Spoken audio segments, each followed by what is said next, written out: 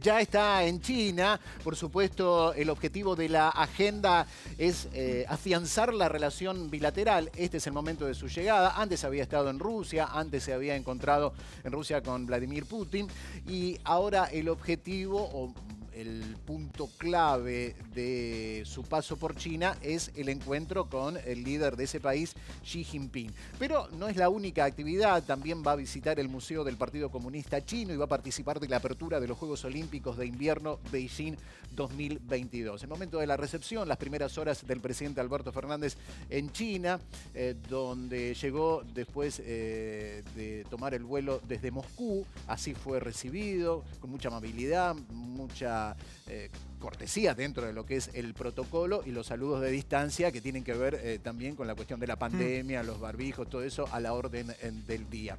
Después de China, el presidente va a ir a Barbados y después va a regresar a nuestro país.